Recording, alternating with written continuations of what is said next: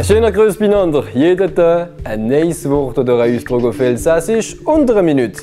Chaque jour, un nouveau mot et expression en alsacien en moins d'une minute. Deux mots possibles pour désigner l'automne, der und plus courant dans le Haut-Rhin. Bien sûr en opposition avec Sfrejur, le printemps littéralement frei, tôt, et Siur, l'année. Donc Sfrejur, l'année précoce, la pré-année. Mais Spotjur signifie quant à lui Siur, toujours l'année, et Spot, tard, finalement l'année tardive. Mais par rapport à quoi? Eh bien par rapport à l'été, saison extrêmement bien remplie du travail au champ, Itefaldr, dans la vie agricole, puis unsere pure, pas de vacances en été. Bis zum nächsten.